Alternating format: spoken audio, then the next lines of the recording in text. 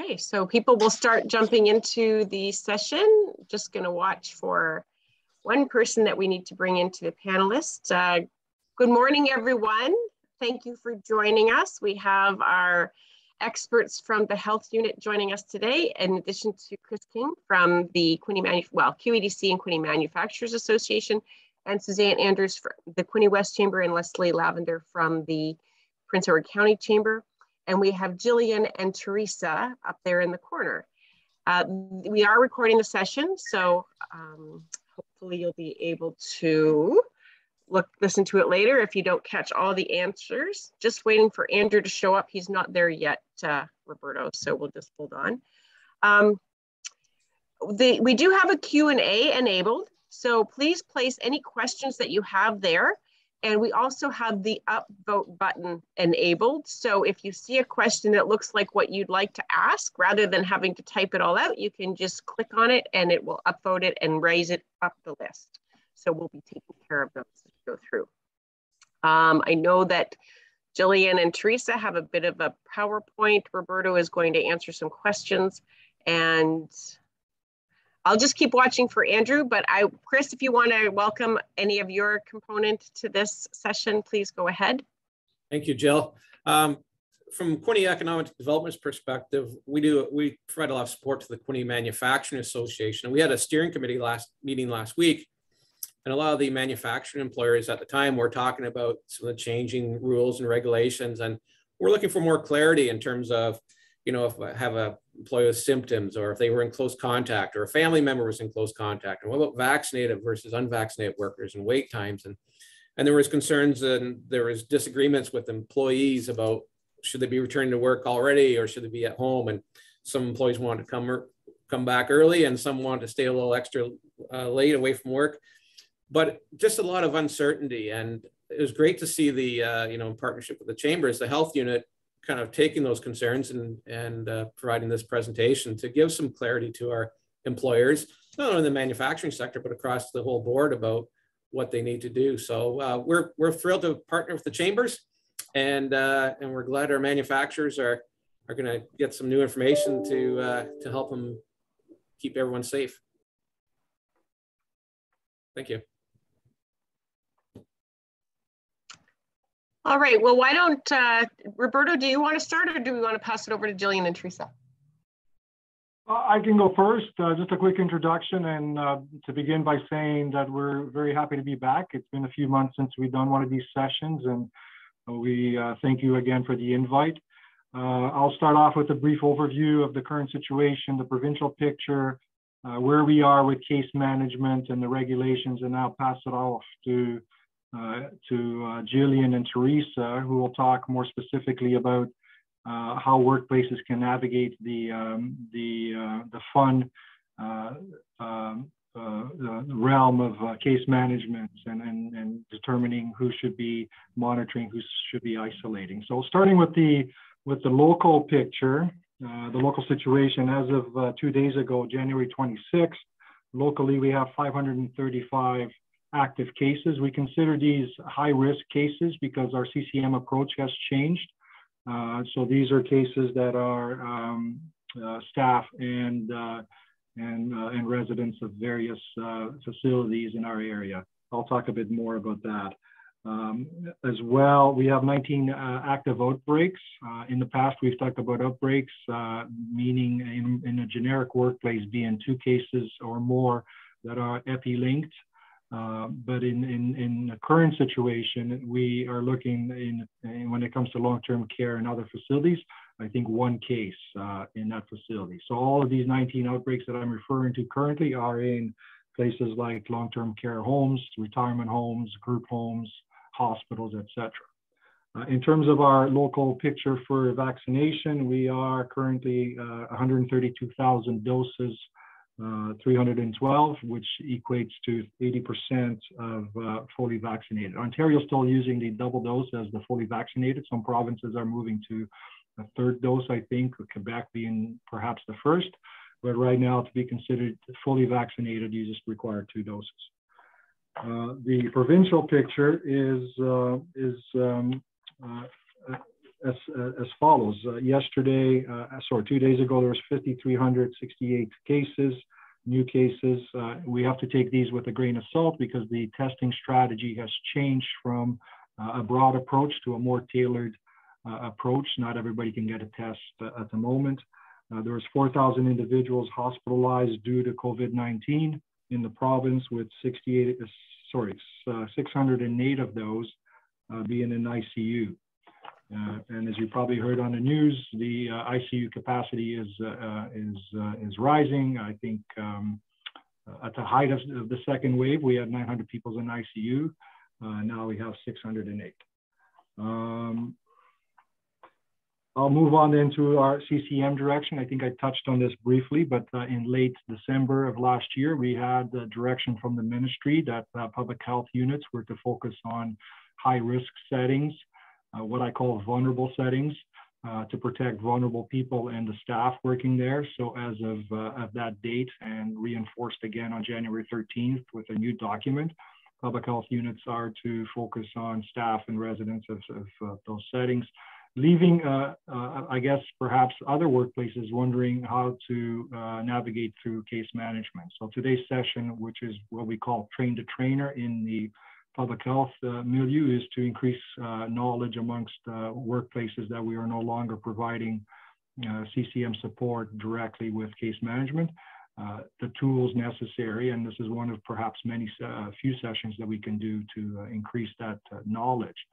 So as of um, January 13th, based on the latest guidance, our communicable disease investigators will respond to cases locally that are in those high risk settings. The other cases, um, and sorry, and, and, within that high risk setting category, uh, under 18 uh, persons are also considered high risk. The other cases go to a provincial agency called the Provincial Workforce, and they call uh, people in our area from uh, central location in Toronto and follow up. But that follow up sometimes is a couple days delayed. So what usually happens is the employer learns from the employee that they've had a rapid test, a positive rapid test, or they have symptoms, and that's where the situation evolves from. So there is some guidance in the documents. The uh, January 13, uh, there's some flow charts that workplaces can follow to determine who should be self-isolating and for how long, or whether they should be self-monitoring. When it comes to the uh, provincial picture for regulations, we are until Monday still in modified step two. As of Monday, some restrictions will be uh, relaxed and those restrictions will stay in place until uh, February 21st, at which time there's going to be further re, uh, relaxation of the restrictions. And then March 14th, I think, is the target. Uh, and I use the word target because all of these dates are targets. As you may recall, in the fall, uh, the government had provided us with a nice infographic of those of that roadmap, but some dates and some restrictions have been adjusted. So that's where we are. Um, if there's any questions about uh, any of that that I just covered, I should, uh, before I forget, mention that there's some questions that came in through the chambers uh, about uh, some of the contents of the new regulations. The working from home requirement, for example, doesn't appear to be uh, there as of Monday. So when we move to the new regulation, which is uh, us going back to step three in the process, the remote working from home is not a requirement um, uh, uh, as of Monday for uh, businesses and organizations. Uh, you may, as a business and organization, still decide to follow that if you feel that you can still operate uh, and, and, you feel there's an extra safety measure by having people working remotely, but it's not a requirement in the regulations. Okay. I think that's it. Uh, I don't want to take too much time on this overview because I think the uh, the bulk of the presentation is around the, uh, the material that uh, Jillian and Teresa, our youngest and brightest public health inspectors in our unit, will cover. And I guess at the end, we can do a Q&A um, on, on what they presented and as well as my brief overview. Are we muted? Yeah, we're. Thanks, Roberto. So um, the next um, few slides, um, we're going to just, we've been asked to do a quick recap of the current requirements and restrictions. We're not going to go into too much detail. Obviously, the regulation is changing uh, uh, end of day on Sunday, taking effect January 31st. So we just thought we'd put a recap of um, those general workplace requirements that are still in place and still likely to continue to be in place for some time in most workplaces. Um, and then um, just some links to um, where to find resources on these different topics. So this presentation will be available after the fact uh, and will include the links that you can go back to. So we won't spend too much time on that. I know Roberto and Andrew have already covered the general requirements. Um, and then we'll briefly mention which section 22 class orders are still in place. Uh, and then Jillian's gonna um, cover off the current self-isolation requirements, um, include a few scenarios, um, frequently asked type of questions, and then uh, we'll just open the floor to Q&A at that point. So um, uh, still a, a, common question is, where do I go to find the current information? Because information is changing so rapidly, um, we tend to refer businesses to this landing page on the uh, provincial website. If you're wondering where the current regulation is, you go to ontario.ca. And at the very top there, below coronavirus in Ontario, there is a link uh, that takes you to the next page. Um, next slide.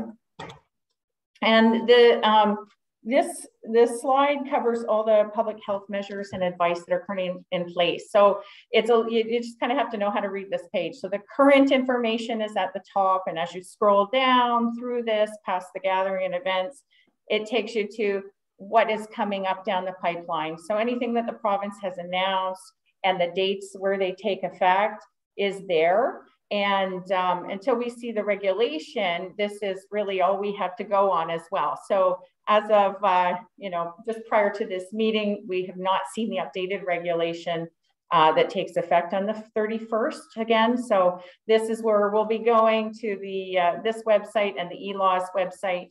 We'll post the current regulation once it is available. Um, and uh, so January 31st, February 21st, and March 14th are those forward-looking dates. Um, and we'll all be staying tuned for those updates. Um, just going back to the foundation of uh, contact tracing and um, your you know duties obligations as an employer uh, in ontario the occupational health and safety act sets the foundation for preventing illness in the workplace and ensuring that there are control measures in place uh, to uh, address any of those risks you have to identify and, and put in mitigation strategies to address risks including covid um, and then the Employment Standards Act covers um, a number of uh, minimum standards for employment, including the job protected leaves and such. Um, and so both of those regulations, those acts rather, are uh, enforced by the Ministry of uh, Labor, Training and Skills, Skills Development. Um, and then the Reopening of Ontario Act, uh, the, uh, or, or, ROA, as it's uh, commonly referred to right now, what's in, play, in force is Ontario Regulation 26320. We're expecting it to go back to Regulation 36420 um, on January 31st, but we will see.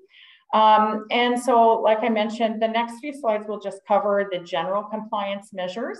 But the way these regulations are framed is typically there's a schedule that covers general compliance. Then there's a section that covers the sector specific rules.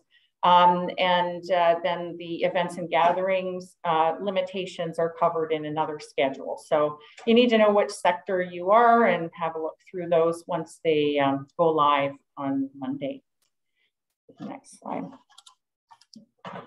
Okay, and enforcement as well, just um, back to the previous slide, the Re Reopening Ontario Act is, is uh, enforced by basically any um, provincial offenses officer, so public health inspectors, police, by law enforcement, and uh, many may already be aware of that. So the general compliance measures um, still in place. Um, we've put an asterisk beside those that have been um, a bit more challenging for businesses, and uh, we've noticed uh, more violations or um, uh, challenging uh, challenges in complying with uh, screening, face coverings, and masks. And on the next page, um, uh, safety plans. So some opportunities there maybe to relook at these areas um, and how you're applying them in your business. Uh, we've included links there to the active screening of workers. Um, the workplace screening tool has actually, the province is in, in um, the process of updating that. So the gener generic screening tool is now expected to be used. So you'll see, if you haven't already, you should click on that link, go to that. It'll cover off all the current questions, uh, screening questions you need to be actively asking your staff members each day before they present for work and make sure you keep those records for 30 days. Um, in some cases, patrons may need uh, to, uh, patron records may need to be kept, but likely that is changing next week based on the, yesterday's announcement. Uh, passive screening as well is required, so signage, etc. So again, just click on that. Uh, everything's hyperlinked uh, when you see the blue. So when you go back to the PowerPoint after the fact, it's there if you don't know where to find it. Um, of course, face coverings, universal requirement in any indoor place. Uh, that's uh, basically it's accessible to the public. Personal protective equipment is still required. Um, when uh, uh, you know eye covering is that added layer of protection when you're working within two meters of somebody else who's not able to wear a mask for whatever reason that may be. Uh, lineups, of course, um, make sure uh, those are controlled to prevent um, congregating outside and ensure that two meter distance is being kept. So these things we expect are going to be staying for some time. Safety plans as well likely are going to be um, uh, staying. So preparing, implementing, and posting that um, in a conspicuous area of your business and making it available on request. Um, there's specific requirements and specific uh, questions that need to be asked. Um, I'll just reflect that in the next slide and cover that in a little more detail. Obviously, eating and drinking at work, physical distancing or barrier is required indoors uh, anytime that uh, face coverings are removed to eat or drink. So keeping your staff safe by keeping them physically separated when they're eating or drinking.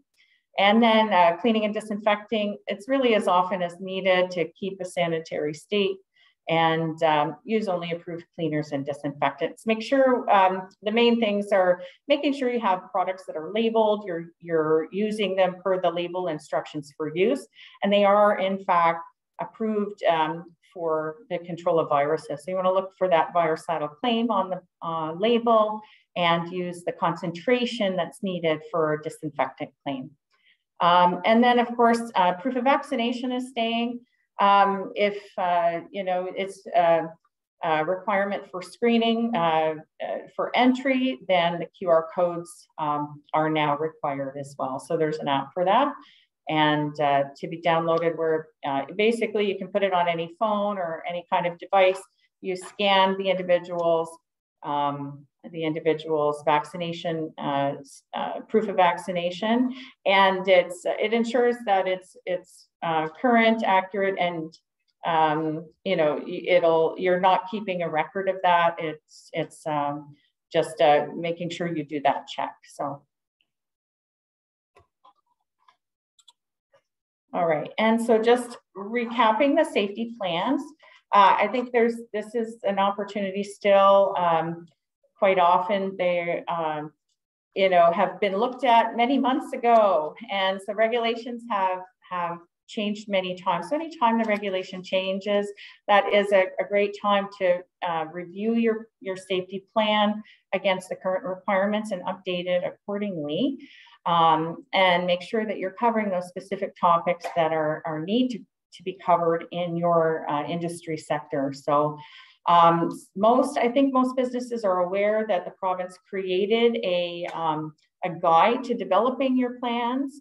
Uh, there is now a workplace safety plan builder that you can use. Um, it's great, whether you're a large business or a small business, if you have complex operations, um, it helps you create um, individual safety plans for say you want to hold a special event that's unique to you. It will go through all the questions um, that apply to you and it'll help you generate um, what you need to be doing and, and making it helps make sure you're thinking through all the questions to be asked. Um, for those of you who prefer kind of the good old Word document, there's still some uh, Word document tools there um, and a checklist to make sure that uh, if you're customizing your, your own plan, that uh, you're covering all the bases there as well. Um, and sample safety plans uh, for various workplace sectors are available through the Workplace Safety Prevention Service, uh, which is kind of an arm, arm's length branch of the Ministry of Labor and Training Skills Development.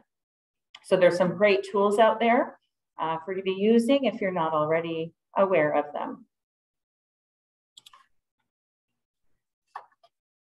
Okay, and so another um, another great resource is our health units website. So right now, because the call volumes are quite high still, and there's a very high focus on our vaccination and our resources are being directed to those uh, important activities, um, we do encourage uh, review of our website first. Um, if you're looking for answers to your questions, most of the answers will be there. We cover um, proof of vaccination, workplace policies. So this, when you go to the health units landing page, this box, this COVID-19 resources for businesses, organizations, and facilities, that is the, the tile you wanna look for and click on. And that will take you to all the workplace resources that are, are um, uh, available through signage, um, and any additional guidance and, and, documents are linked on that page. So as you scroll down, um, you'll, you'll always see that pop up as well the first time you go to our, our main health unit page. So that will tell you if there's been any major updates. Um, our, our comms group uh, tends to do that when, uh, say, a regulation has changed or we're doing something new. Um, so it's worthwhile paying attention to that first pop-up before you just you close it. So.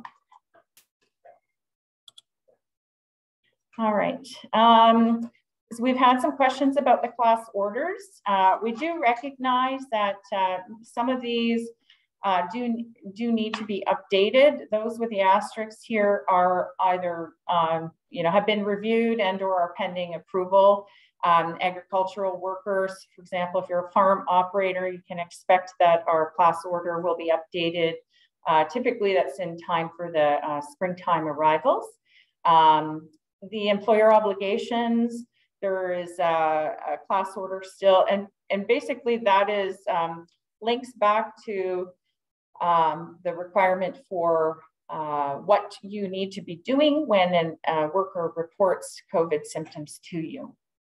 In addition to the other regulations that we already uh, mentioned that provide the foundation for that, uh, contact tracing to be done.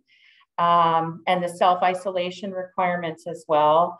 Um, the self-isolation order is still effect, although the approach we're taking now functionally, practically is the uh, self-isolation timelines are being updated. So the uh, it used to be a seven days and 14 day requirement. Now it's five day, uh, 10 day self-isolation, depending on your vaccination status. But otherwise the self-isolation requirements still are covered under a class order. That remains in place. Okay, some common questions we do get. Um, am I, uh, for re relating to the exclusion of sick workers from the workplace? Uh, the first is, uh, am, as an employer, am I legally required to send ill employees home and conduct contact tracing? And so would say the answer is yes. Um, as mentioned, you're required to protect your workers and the public from COVID-19. Um, and the measures that you need to take must also be outlined in your written COVID safety plan. So uh, the regulation, whether it's 263, through 364, both of them refer to the safety plan and the expectation there is to outline specific measures you're going to take to protect the workplace. And that does include contact tracing, um, when a staff member um, uh, reports illness. Um, and then you can look back again to the Reopening Ontario Act, Occupational Safety, um, Act, uh, Occupational Health and Safety Act, and then our Section 22 class order. Um, so they all provide the foundation supporting uh, the legal requirement to, uh, to do your contact tracing um, following uh, notification of a sick employee. Uh, next question is, am I allowed to ask employees for their personal or medical information? So I know it seems um, a little bit, uh, can be uncomfortable or not, you know, typical to be asking about vaccination status in general workplaces. uh, the higher risk settings uh, is, is much more common. But, but yes, the answer is yes. Employers um, do often collect personal information and confidential information for employees. Um, personal health details are often needed for return to work purposes. And ultimately, that information simply becomes part of the worker's confidential health record or and uh, sorry the confidential hr human resources record in a general workplace if uh, information uh, relating to um, you know personal private confidential information should be treated as such uh, by the workplace um, but we did have our, our, our, own privacy officer did uh, attend a session about this a couple months ago and it was clarified that information collected um, for the purpose of, in the workplace and pr protecting, um, uh, preventing spread of illness in the workplace, it is uh, when it's collected by the employer, it's not being used for healthcare. So it's not information that's covered under PHIPA. Okay, so or the uh, the privacy of health information, it doesn't apply in that in that sense. Just simply becomes part of the human resources record. Um, and then excluding sick workers from the workplace. Um, do I need to report ill employees to anyone? And the answer is yes. Um, so there's a number of considerations here. First of all, um, if we go back to the requirement to notify any high risk contacts of their exposure so they can self monitor for symptoms and or self-isolate if um, warranted based on vaccination status or the exposure. And Jillian will cover that in more detail in the next uh, several slides. Um, Ministry of Labor must also be notified of cases or outbreaks uh, when transmission occurs in the workplace. Uh, there is a phone number that you can call uh, and uh, there's an email where you, um, a website where you can report that directly to Ministry of Labor. Um, their follow-up, uh, were, um, they would follow up if, if as needed on their side. The health unit doesn't get involved in that. It's a workplace safety uh, requirement. And then the Workplace Safety Insurance Board also needs to be notified of any illnesses that are required within the workplace. And the requirement is within four days of you becoming aware of that. So once the employee uh, informs you, that they've had an illness and the like, likelihood of them getting it in the workplace is very high, then the WSIB should be notified or must be notified um, under le current legislation. Um, and then we also just say um, it, it, you may have additional reporting requirements depending on your industry sector. The one example here, if uh, like a local farm worker, uh, farm farmers um, would need to report uh, workplace acquired illness or outbreaks to Service Canada uh, relating to any of the temporary foreign workers that they have um, on staff. So, um, uh, so we may not be, you may be more well aware of what your reporting requirements are based on your sector, but that is just one example. Okay, so we're going to spend the next few minutes talking about um, COVID-19 and contact tracing and self-isolation requirements.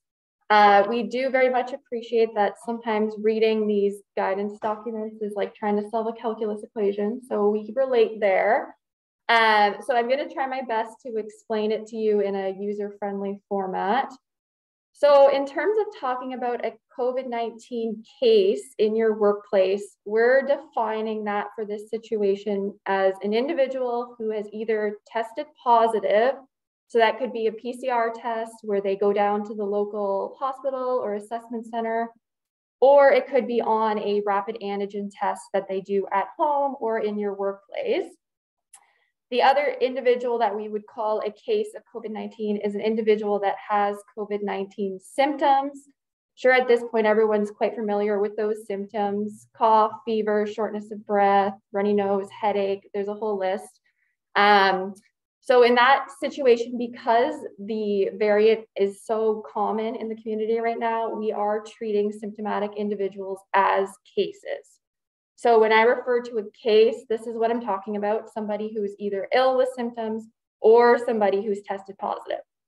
And the guidance that we're talking about for this situation is general public or your workplace. It does not apply to high risk settings like hospitals, long-term care homes, and retirement homes. They have a different set of guidance.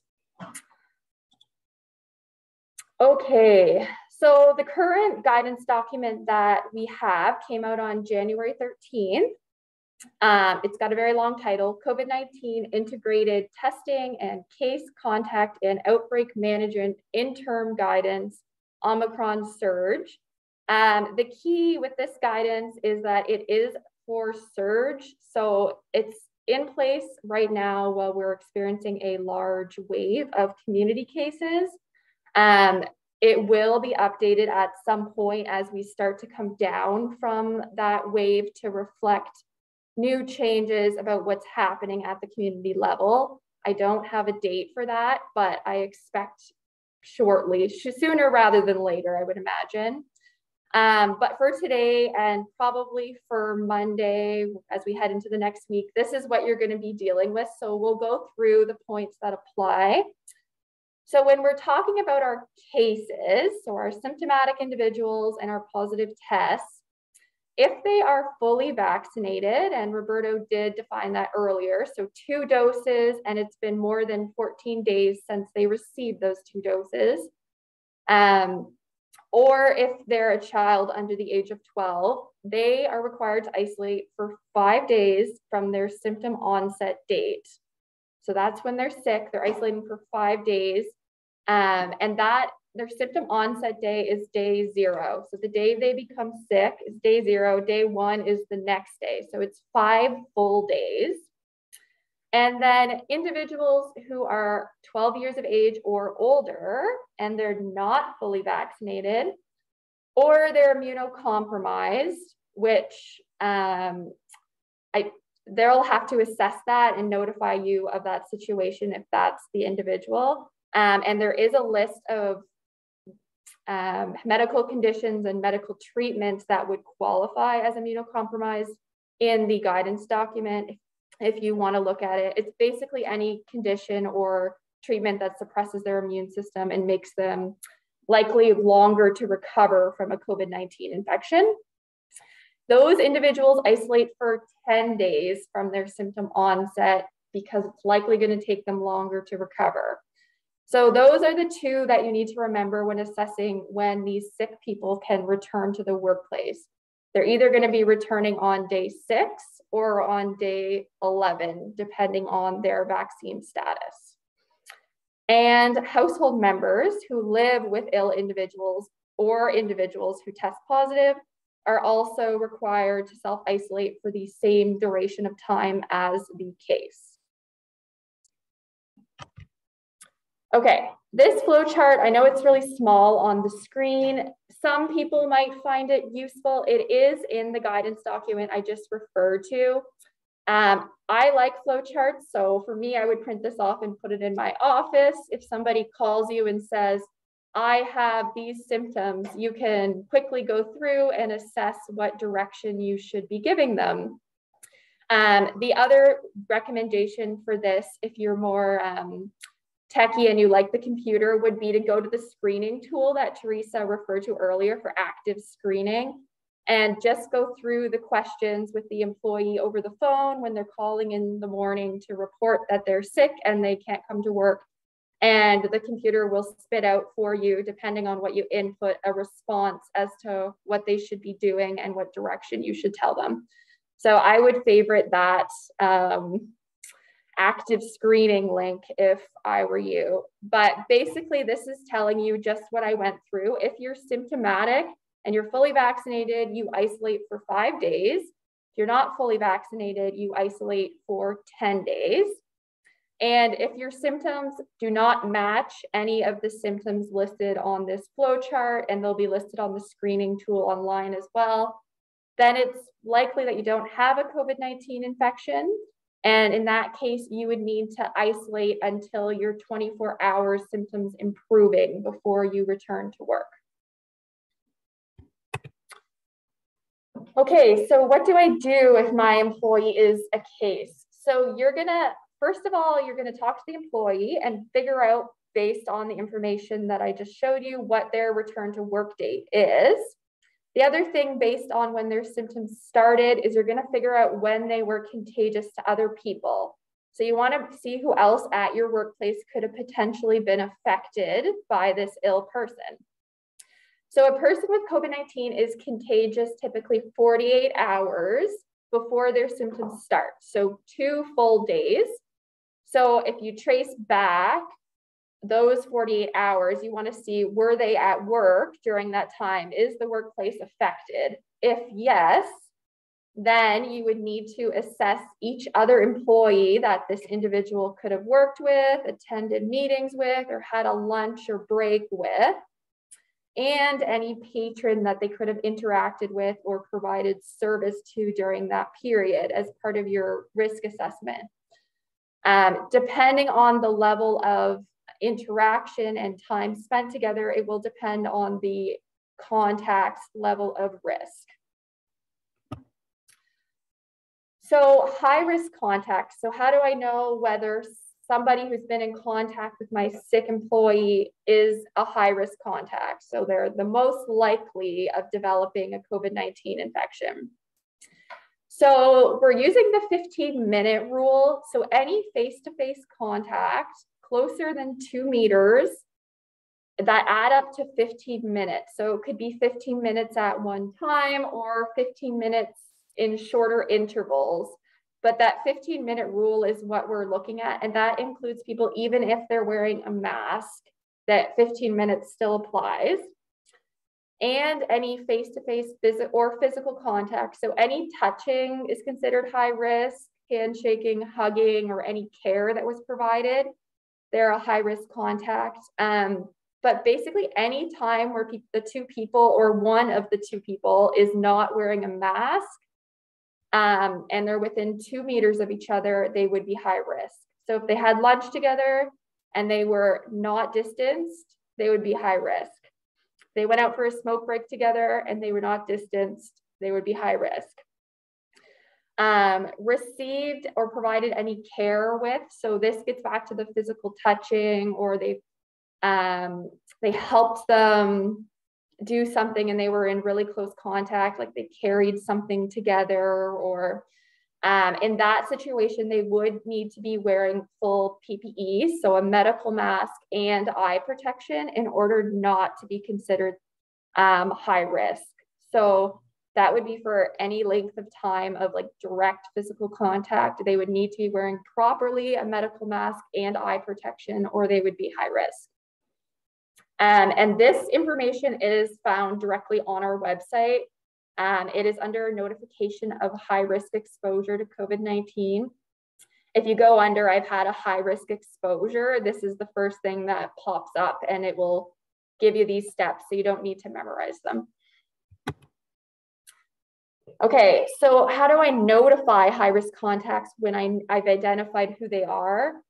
Uh, my best recommendation is to send them to our website or give them a, a link to the website and all the information is there. HPE public health notification of high risk contacts, exposure to COVID-19. Um, this is the easiest and let them read what content applies directly to their situation.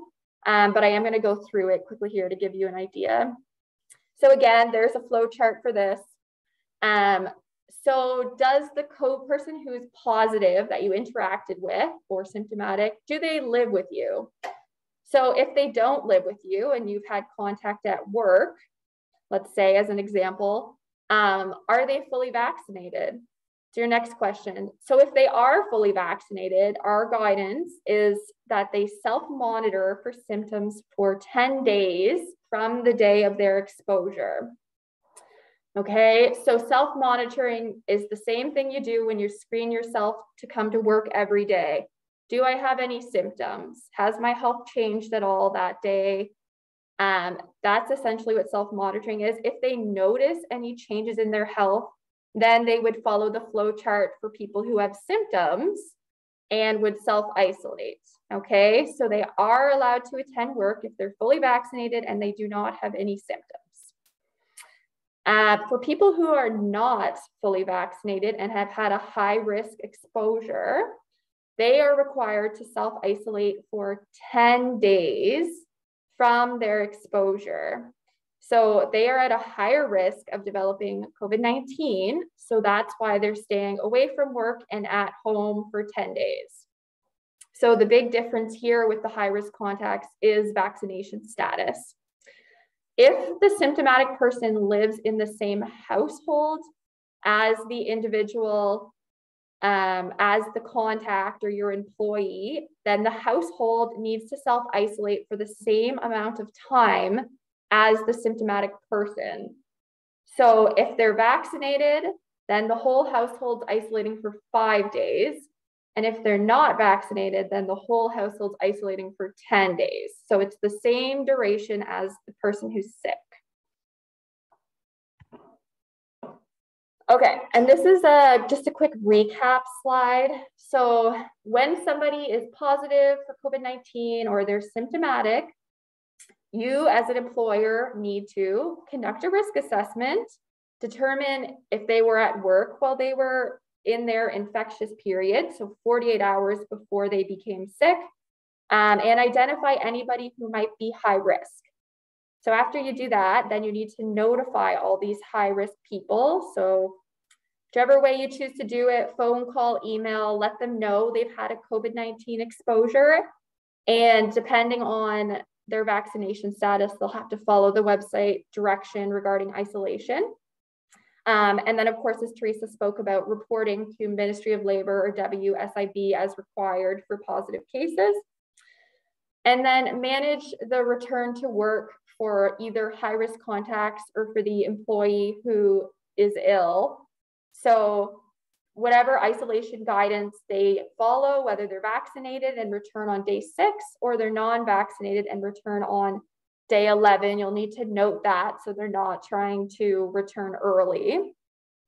Um, and then also with the return to work and clearance from isolation, they do need to be free of a fever and their symptoms need to be resolving for 24 hours. So improving, nothing new or worsening.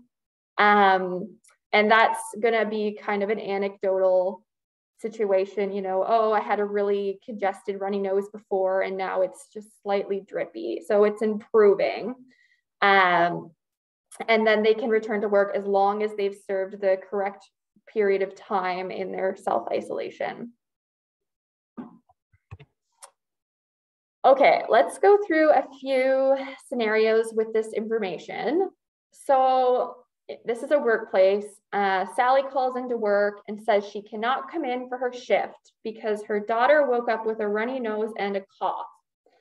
So we know right away runny nose and cough are symptoms of COVID 19. And Sally says she is fully vaccinated and does not have any symptoms herself. She wants to know if she can come to work today. So, what do you tell her? So, no, she must self isolate for five days with her ill household member before returning to work. So, anytime somebody in the household is sick, the entire household needs to isolate. So, she would isolate for the same amount of time as her daughter based on the symptom, the day the symptoms started. So, five days after the day the symptoms started. So, on day six, she can come back to work. But two days later, Sally calls again and says she now has a cough. So now Sally is determined, de deemed to be a case of COVID 19 herself. So she needs to have her own isolation period now. So now we flip over to the flow chart for the symptomatic individuals. And she isolates for five days from her symptom onset date. So it would be extended for another two days past what her daughter's isolation is. And then once she's done her full five days and her symptoms are improving, she can return to work. All right, let's do another one. So we have a fully vaccinated family of four individuals. Dad sc fails screening to come to work because he has new symptoms mom tested positive for COVID last year. It was about six months ago, she says. So Unfortunately, mom's test, positive test was too long ago. We have new variants since that was um, a positive test. So that in this situation, that information is not relevant.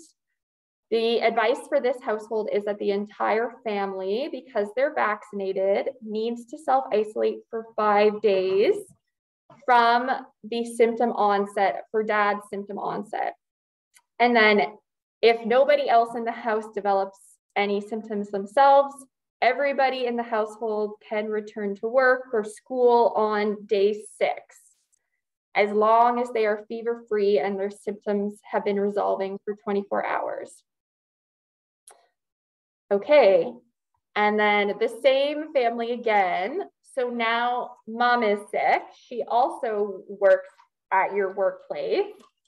And she comes into work. She's been coming into work now that she served her isolation period, returned to regular activity, and fails screening on day three after she's just come back to work from her isolation. Now what? So likely there's been either a new exposure to mom or one of the household members, or it's the same exposure and now someone new is symptomatic. So they're they're reinfected again. So the entire family now needs to self-isolate again for five full days. Okay. So this is an, a brand new situation. They served their isolation time already for the previous situation. And now this is a new in, incident. So they're starting again. So it's five full days. Um, so they all stay home, self isolate for five days from the day mom started her symptoms. And then on day six, if they're fever free and symptoms are resolving for 24 hours, they can return to work. Okay. Uh, one more. So we have a non-vaccinated family now. The son, who's 12, tests positive. So all family members are required to isolate for 10 full days because they're not vaccinated. Okay, if nobody else becomes ill, they isolate for their 10 full days. And on day 11, if they're feeling well, they can return to work or school. That's the easy way. But as we know, households have the highest rate of transmission, which is why we want everybody to stay home. So, same family, but dad starts to feel sick on day four of the family self isolation and he has access to testing, so he tests positive. Okay, good news is he was isolating while he was infectious. So there's no risk for the workplace and there's no contact tracing to do at the workplace because he wasn't there. That's what we want to happen in theory, if we know you're a high risk contact. Um, the son has already had the infection. He was the first sick person in the house. So he does not have to extend his isolation anymore. He does his initial 10 days and then he can go back to school as long as he's feeling well. Dad has to start his isolation again from his symptom onset date. And all of the other household members who are not symptomatic, so two other people still remaining, also need to restart their isolation when dad became sick. So 10 more days for each of them. If somebody else becomes sick in the household, they would again restart their isolation period from the day they became sick, but that does not affect um, the individuals who are already sick because they're already infected. So they can't be, if they gave them the infection, they can't be infected again from the person they just gave it to. Okay, but the individuals who are not sick, don't have any symptoms, they still need to stay in isolation until um, until the last person who's sick is done their isolation period. Okay, I know it's a lot. Um, can we just, I just want to jump in for a second here because there are a couple of questions in the chat that are specific to these scenarios that you've just gone through. So instead of saving it for later, um, one of them uh, questions says in scenario number one, and actually both of these questions are about scenario number one. Uh, would Sally's daughter isolation period also extend? Um, so no, so the symptomatic person does not extend their isolation period if somebody else is already is, is sick in the household because they were the source of the illness.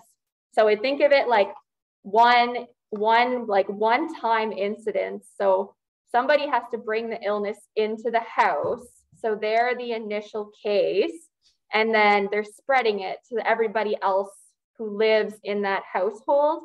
So this person who had it to start with, they can't get it again because they brought the infection in. So they don't have to isolate any longer.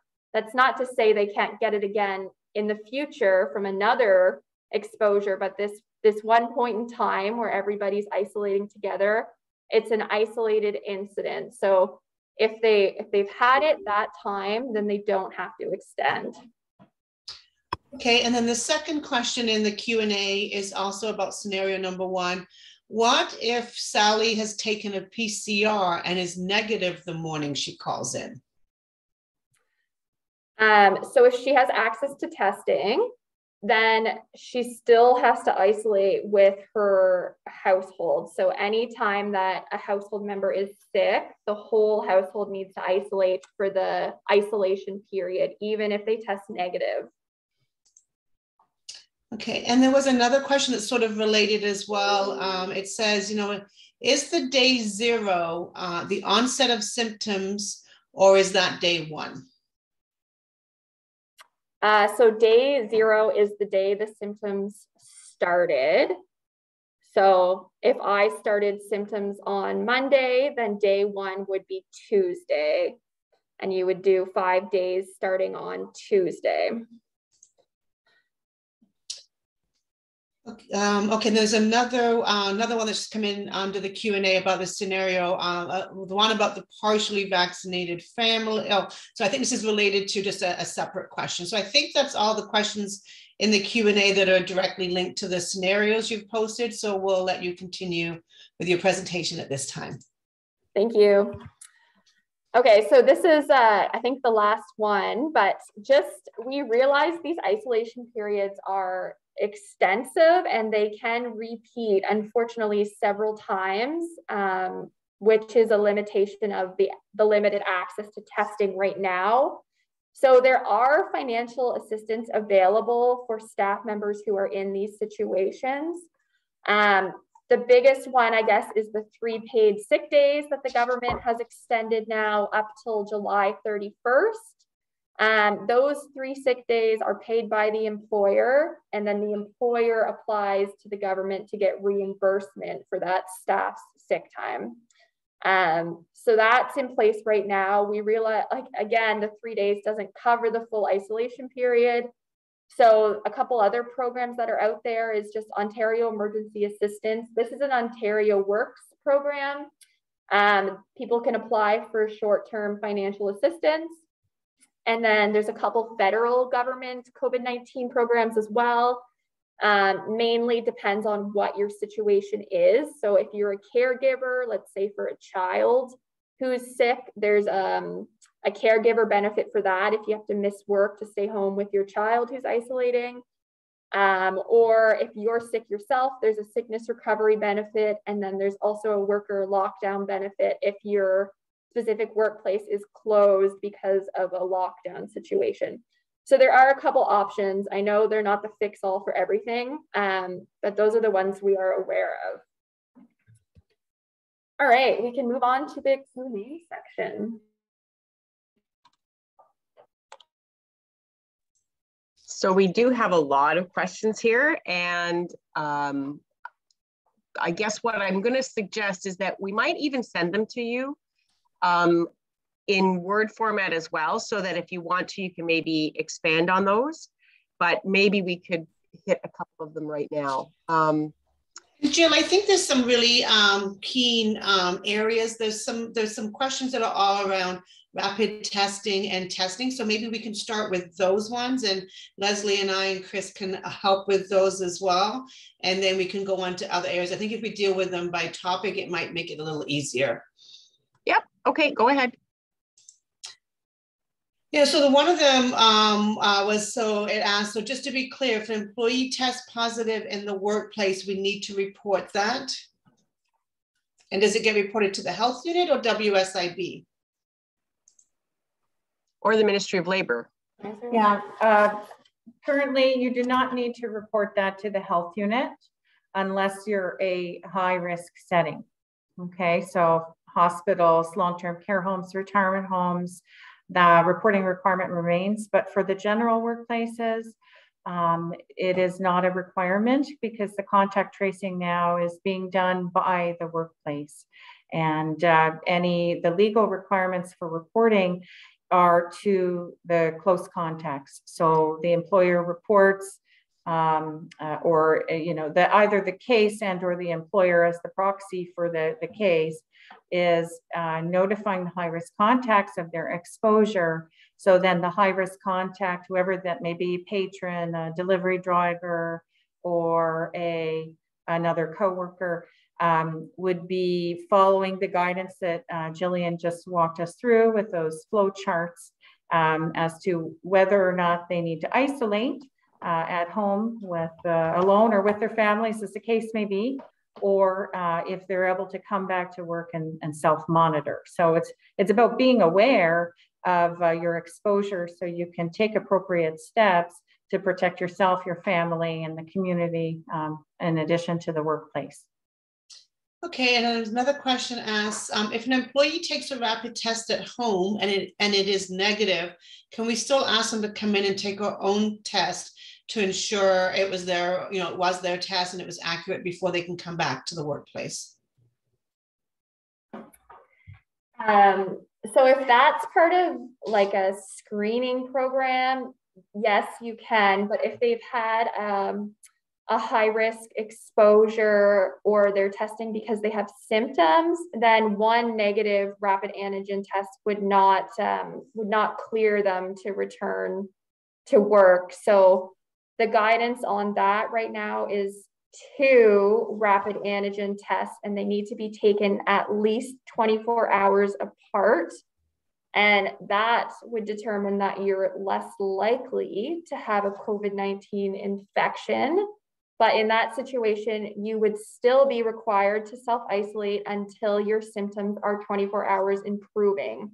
So even though you maybe don't have COVID 19, you still have something else and we don't want you to spread that either. So you mm-hmm. still need to stay home till you're feeling better even if that rapid test is negative. But in terms of an employer wanting verification of using their own uh, that's at your discretion. If the person's been told to isolate or has to isolate because they have symptoms then no they can't leave their property to come in and take your test. But if they're just somebody taking it because they want to screen themselves and you want them to use yours and you have enough supply, sure. Okay. And I think you just answered this one, but sometimes they get worded a little differently. So it's hard to tell. And I know there's a lot of nuance in the wording with you guys and, and how you interpret it. So uh, this question says, you know, how many rapid tests should be taken and how far apart should they be spaced after a known exposure?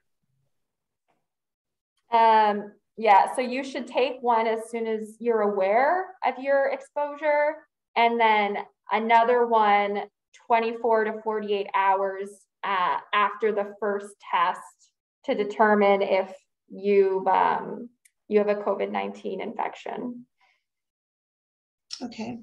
I think that's all the questions that were in there about rapid tests. So I'll throw it back to one of the other panelists and see if they want to uh, tackle uh, the next section. So I don't know, Leslie, do you want to grab one of these questions or do you want to just start from the beginning? The very first one? Yeah, sure, I can do that. Uh, the first question uh, is wondering if any more information has been provided as to when personal care services that require a guest to remove their mask can resume. And I know later down there was another question about uh, removing masks. I'm just going to try to find it while you answer that one. Yeah, at this point, um, we're still waiting for the next version of the, the regulation to be posted. Uh, we don't know um, uh, whether or not uh, personal care services uh, whether the removal of masks will be allowed come Monday or not. So stay tuned. Um, the regulation hopefully will come out today and um, we'll all be able to digest that before Monday. Yes, and I, I can add to that. I concur with um, with Teresa that we haven't seen the regulation, so we can't 100% say whether that's the case, but it's looking uh, positive um, from my reading of the amending regulation. I don't see anything in there that um, would carry on the um, the restriction on on beer trims and all that um, uh, type of uh, service, but we can't say 100% yet. So check back with us. So I don't have to cancel my facial appointment for next week, right? Things are looking good, but we can't say for sure. Chris, do you want to do the next one? I, am also noting that we are a couple minutes after 11. Um, so uh, Jill, Suzanne, um, I'm not sure, you know, you had mentioned about recording these questions and getting typewritten answers in response. I'm not sure uh, when you want to limit that. I suppose it really depends on our public health um, officials. If I mean, this has become such a, a, big issue for so many employers. If if they're able to stay for uh, a little bit longer, I think we should keep going. But it really depends on people's busy schedules. I know it's a, it's a very uh, busy time for them all. Okay. I, I, think we can stay a little bit longer, maybe another 15 minutes. I think uh, is doable. Great. Take it away, Chris. Thank you. Uh, this is the question that came in at uh, 1016 today. I don't think we've done this one yet. It says, we have a screening tool done online daily by our employees. Since the change is December 30th, there doesn't seem to be a PDF available to employers providing a written screening document for revision 5.5. The COVID self-assessment seems to be the only tool. We want to do an in-house system when wondering if there's something else available. There is. Um, if you go back to the slide for uh, power, yeah, we're not sharing anymore, but um, if the PowerPoint will be posted or we can send it after the fact, there is a, uh, a, a PDF that still outlines all of the screening questions that are needed and that you can take and adapt into your own version if you wish, or you can continue to use the online screening tool. Um, it, it's your preference. We, we don't mandate you have to use online or paper. Uh, as long as it's getting done, uh, that's really all that matters. Do you know where it is? Uh, yeah, it is. It's on the, um, there, I included a link. It's uh, on the Ontario website. So I can get you to that specific page. And there's a hyperlink. So if you're looking at, it's either the active or passive screening tool. It's the, the hyperlink for the passive screening in that table slide number, I can tell you.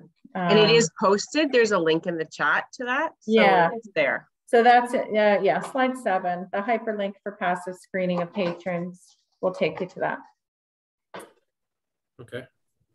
Maybe I'll do one more. It says, uh, with respect to collecting health information for employees, are we allowed to ask if they are vaccinated? Yes, you are. Um, the Ontario Human Rights Commission also uh, back in September put out a position statement um, saying that uh, vaccination policies generally are are acceptable. Um, and you know, considering the fact that we are still in a provincial emergency, um, you know, maybe they won't, you know, that opportunity won't be here to stay forever, but um, the policy statement um, uh, does suggest consideration for accommodation uh, to the extent that's not going to be a barrier to your, your business. Um, and it, personal preferences, singular beliefs really are not protected. So there's not necessarily a right to accommodation under the code right now.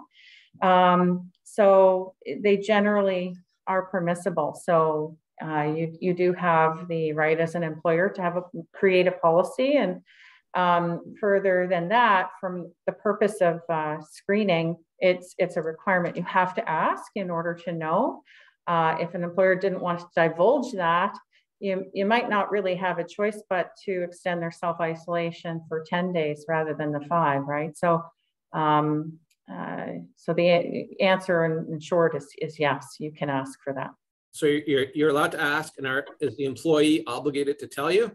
And if they don't, Uh. you just assume that they're not vaccinated? Is that what I heard? Yeah, I, I think that if, if they're not willing to, you, you know, really ideally as an employer, you're gonna have a policy that stipulates there, you're, you know, you're asking for this um, as part of your employment and it's a requirement for contact tracing. And so um, the requirement in order to be uh, self-isolating appropriately or making appropriate decisions, you, you need that information. So without it, um, I, I think uh, the general guidance would be to, you know, take the more protective approach. And if somebody is sick and they're not willing to to share that vaccination status with you, the assumption that they're not maybe the, the where you should be. I don't know, Roberto Andrew, if you have further thought on that, but um, you know, it, it's a, it is right now under our provincial emergency and for the purpose of uh, workplace contact tracing and identification of high risk contacts, you need that information as an employer. And uh, there is legal foundation stating that you have a right to ask for it right now. Yeah, I would add to that that you know you, you can't really force someone to tell you what their vaccination status is. The policy, however, is uh, is, is legal uh, if applied in a um, in a manner which does not offend the Human Rights Code. And uh, just like my workplace here, I provide a proof of um, vaccination for all my uh, jabs. Uh, but if I refused, to, if I had refused to do so, then I would be in non-compliance with the company policy, and then I would be opening myself up as an employee uh, to the ramifications of that, just as a, as someone who comes in tardy or steals from the workplace. Um, so that's where the um, where that uh, stands legally. Uh, the policies at one time, um, I think back to the fall, we had um, uh, differing legal opinions, and a lot of it hinged on the human rights tribunal uh, position on it. And as Teresa uh, just mentioned, uh, they've come up with that. So generally speaking, they are legal policies provided they're applied in a fair and um, non-discriminatory manner. Um, I did miss a couple of questions about uh, rapid tests because there was a few in there. So maybe I'll quickly get try and get these ones in. Uh, one was just asking about if an employee continues to, to test positive after five days, assuming they are fully vac- vaccinated, uh, but their symptoms have improved, um, but they continue, but they're continuing to test positive. Um, is the direction to have them remain in isolation until they test negative, or are they able to come back to work? No, so with the rapid antigen testing, the recommendation right now is that if you test positive on a rapid antigen test, you do not resume rapid antigen testing for up 30 days. So it's a month. Um, so that person, once they've had their confirmed positive test, they shouldn't resume asymptomatic testing again for 30 days. Okay. That's that's news we're waiting for actually from the ministry as well. So because it used to be 90, so it's interesting to see that that's reverted to 30. Yeah, that's believe it's, it's still 90 for PCR testing. Gotcha. Oh. okay. Very good. So that's good. So if you've had a, a positive uh, test and you've done your five days and you're a fully vaccinated person, you can come back to work. You don't need to have get a negative rapid test in order to come back to work. Okay, that's really great for employers to know that. And the second question is kind of a very similar one. Uh, rapid tests are coming back negative, um, even though um, the person is sure that they're positive. Um, is this because the levels are too uh, too low to read? Um, you know, should they trust that negative, even though the person's pretty sure they they have been exposed to COVID? Um, no, I mean, it's hard to answer that question. It's really dependent on the situation. But if they've had a high risk exposure and they're not vaccinated and they have symptoms, they should isolate. Um, unless they're, it would be different if they did not have an exposure and they're like, I don't think I was exposed to COVID. But if they know they were exposed to COVID, then they should still isolate. Thank you.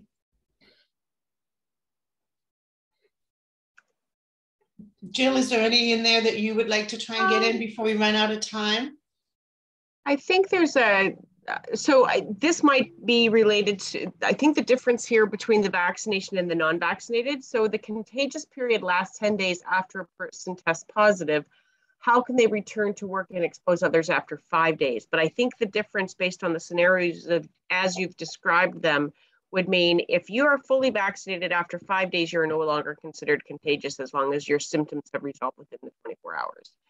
But if you are not vaccinated, then you isolate for the 10 days. Is that, is it about contagion or is it about your likelihood to develop symptoms after the five days? Um, so yeah, so you're right. So the difference between vaccinated and unvaccinated is that when you're vaccinated, you've had exposure to a part of the virus or something that looks like the virus. So your body already has immunity to what it's exposed to. So that immunity can fight off the virus a lot quicker because it's already there. It already remembers, oh, I've seen this before, so I know what to do. Um, whereas people who are not vaccinated don't have that protection because they haven't been exposed to it. So they're going to take longer to fight for their body to fight it off. So they're going to be infectious for a longer period of time. So that's the difference. So if somebody's vaccinated and they've recovered, they sh- they should be recovered within five days. That's why they shortened that time period because we were seeing people recovering a lot quicker once they were vaccinated. Um, so yeah, they should be fine to return to work. But the other thing with that is that there is guidance that says for the remaining five days that they do avoid attending any high risk settings. So don't visit grandma at the long-term care home until you're at your 10 days um, and make sure that you wear your mask really well, which you should be anyway. Um, wash your hands, just be a little extra cautious with keeping distance from others until you are at your 10 full days. Now, there's another one which I think with all the kids back in school is probably a really timely one, especially uh, for, for uh, it's putting whole families um, out. The scenario is that there's a partially vaccinated family. The mom, the employee, is fully vaccinated. Her three-year-old daughter obviously is not and has two or more symptoms. For how long does the mom have to isolate? So mom has to isolate 10 days with the daughter Wait, well, like it depends on the age of the child. So three. if the daughter, sorry? The child is three. Oh, three. Okay. So because they're under 12 and they're, especially at three, they're not eligible for vaccination. And even the kids that are under 12 that are now eligible don't have their full doses yet. So their guidance is also five days. So there is an exception for children under the age of 12 who have symptoms, they isolate for five days. So mom as the employee would also isolate for five days in the house with the daughter.